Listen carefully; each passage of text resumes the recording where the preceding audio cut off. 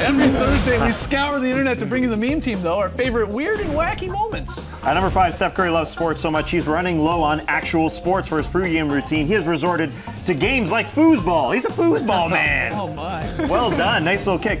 Here are all the sports that this man has played. Bowling? Bowling. Yeah.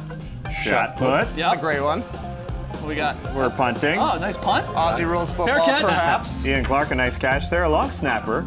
Whoa. Oh, this is dangerous. No, I hope you're paying attention. out That's a there. weird volleyball. That's the Zach Morris serve way up high. And then uh, the curling. Yeah, that's Hey. his Canadian. Uh, Yeah, Dad played in. Canada. Head of the uh, Super Bowl last weekend, Shaq and U.S. gymnast Simone Biles gave us this awesome photo op. Looked like an optical illusion, but SB Nation doubled her up there. While Funny or Die added Little Penny to the mix, saying, the great ones come in all sizes. At number three, a couple of great referee expressions. We'll start with James Williams on the baseline here. LeBron gives him a piece of his mind.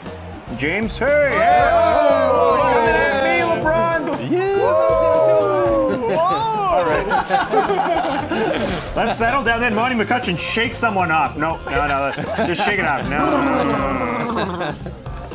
Everyone knows about the triple doubles, but in this new ad from Footlocker, Russell Westbrook explains his other big stats. I crash into 1.7 cameramen per night. I've created two times more parental neglect than any other player. Oh, buddy, this guy's amazing. And I'm appearing in 72% of opposing coaches' nightmares. See you tomorrow. And I lead the league in minutes talking to myself intensely. Better show up tonight. Oh, I'll show up. You just worry about yourself. Plus, I'm the all-time greatest wrestler in league history. Oh, really? Okay, second greatest wrestler in league history. Thought so. Nice. And at number one, actor Bryan Cranston with the fake butt slap of Tony Parker. M. Night Shyamalan loving it on the left there.